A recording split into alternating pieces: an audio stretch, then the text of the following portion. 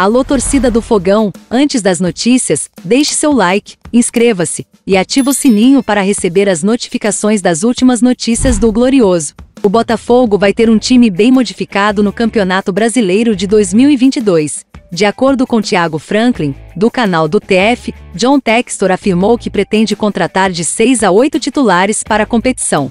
O empresário americano, investidor da SAF Alvinegra, promete um time bem mais forte para a competição. Além disso, está atrás de um novo treinador, após demitir Anderson Moreira. Nesta temporada, o Botafogo fez apenas cinco contratações, todas ainda antes da era Textor, o zagueiro Klaus, os volantes Breno e Fabinho e os atacantes Vinícius Lopes e Erisson.